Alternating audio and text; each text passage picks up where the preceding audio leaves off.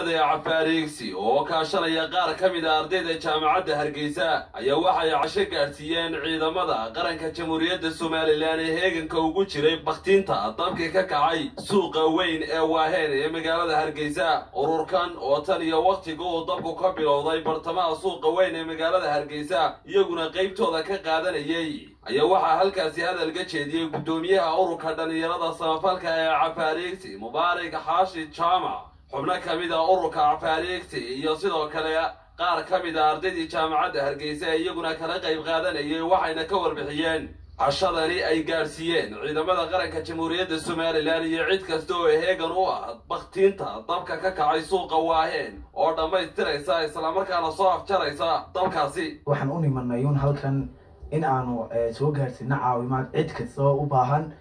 Runtii ciidanka oo keliya ugumaanaan talagelin cashadan aan wadno barbarkayga waxaaban ka soconnaaba barnaamijkii dadka la nool xanuunka maanka sidaan u caawin lahayn ayaanu ilaa saaka ku fooganayn waanu soddonka cisheer wadaan dadkaasi caawino keliya wuxuun baan u sheegayaa walaalkay cabdikariin axmed moogo ah maanta meeyarka caasimadda waad ka war haysaan mas'uuliyaddeeda dee cidda ugu sarreysa ee qaadi karta hargeysa waa isaga weeyi.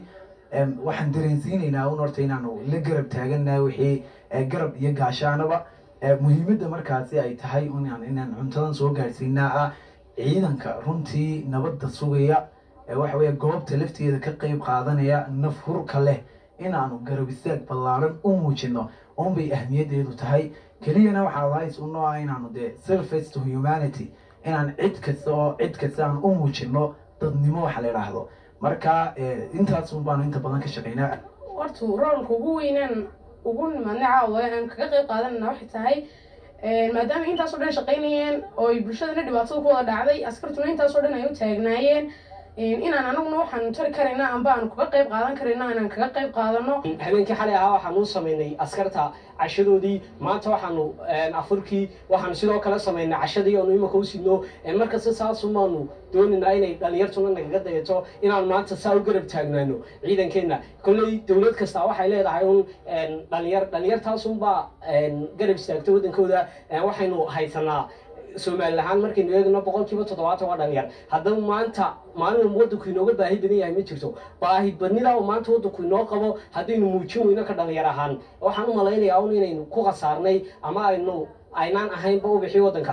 Markaa kolley waxaan odhan lahaa un waxaan u dirayaa un fariin shacabka inay nagala qayb qaataan dhaymada. Iyo wixii markaa aanu ku dhayayno askartayada sideed afartankii saacadood u dambeeyey ku guda jiray howlgalkooda dhigataa kulidda adeega bulshada ee jaamacadda hargeysa. Waxaanu asabaartinashib kula shaqaynaa ururka cafaariigsi annaga oo la garab istaagna howl kasta uu qabanayo. Iminka caawa waxaan ku sugannahay bartamaha suuqa hargeysa amba waaheen hadda sidii loo yaqaano. Waa wada ogtihiin masiibo weyn ayaa ka dhacday. Hase ahaatee annagu ka kaalin ahaan waxaanu ka qayb qaadanaynay sidii ciidanka ayagana furayaasha aanu wixii ay u baahan yihiin aanu la garab istaagi lahayn. Haddii cunto tahay iyo haddii hawlqabad ay tahayba. Waxaan joognaan hadda ku sugannahay bartamaha suuqa waaheen ee masiibadu ay ka dhacday dabku qabsaday. Sideed iyo afartankii saacadood ina dhaafay. Ilaa habeenkii hore ilaa imikayagan halkan waxaan noogu jirnaa si aan u garab taagnaan lahayn dadkayaga annagoo ah safe alife foundation. Run ahaantii waanu dareemaynaa xanuunka iyo dhibka ay leedahay hawsha hargeysa ka dhacday. Waxaanan bulshada ugu baaqi lahayn dhalinyarta imika somalilan inta dibadda joogtaa inay dadkooda iyo dadkooda la qaybsadaan xanuunka wixii ay qaban karaan la qabtaan. Waxaan ka ilaahay leeyahay waa uga boqodhay dadkii halkan uu ganacsiga kaga gubtay iyo arrimahoodu.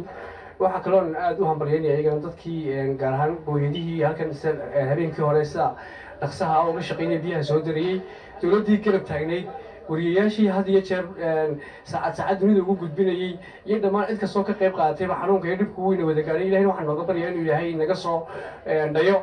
Wasalaamu calaykum